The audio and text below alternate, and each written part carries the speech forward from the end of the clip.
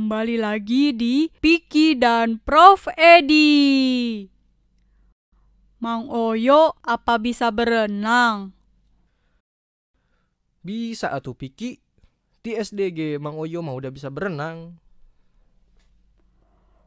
Kenapa ya orang-orang mudah untuk belajar berenang? Memangnya Piki teh nggak bisa berenang? Piki belum bisa, Mang. Eh, nah belum bisa.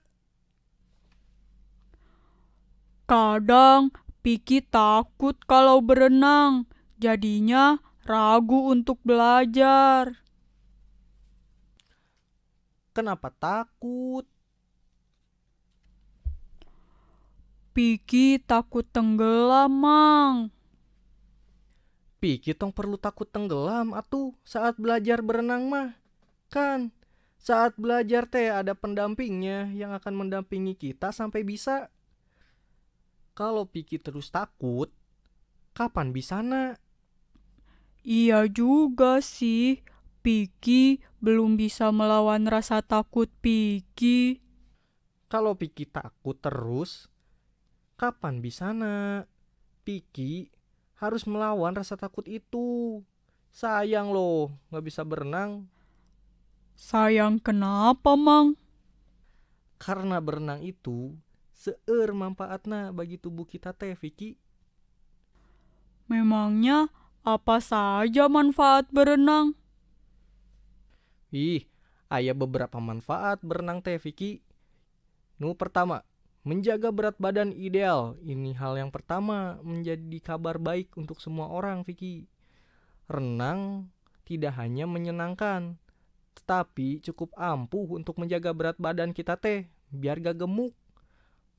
Faktana, berenang selama satu jam teh dapat membakar 100 atau 200 kalori.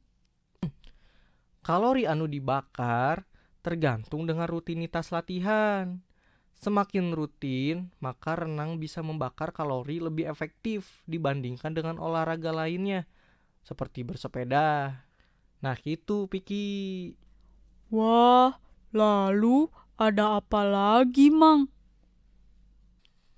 Membentuk dan menguatkan otot. Selain itu, dapat menjaga berat badan.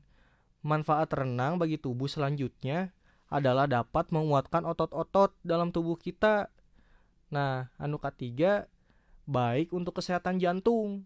Olahraga renang juga ternyata bermanfaat untuk kesehatan jantung teh.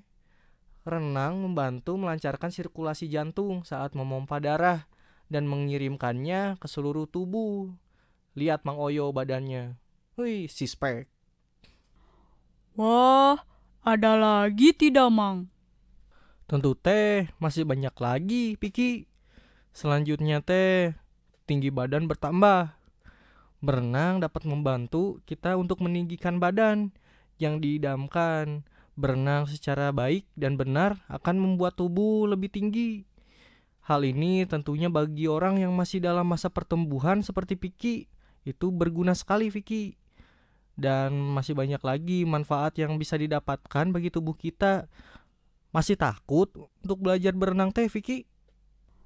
Wah, kalau begitu Piki akan mulai belajar berenang. Ini demi kesehatan tubuh Piki. Bagus, Piki, bagus. Semangat ya belajar berenangnya, Piki. Mang Oyo mah yakin Piki teh bisa melakukannya. Siap, Mang Oyo.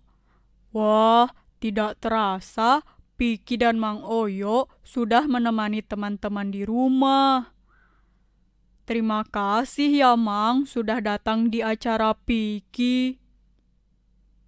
Siap, sami-sami Piki. Mang Oyo juga makasih udah diundang ke sini teh. Duh, jadi bangga.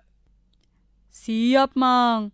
Kalau begitu, kami pamit undur diri ya. Terus saksikan Piki dan Prof Edi hanya di PTV. Sampai jumpa teman-teman.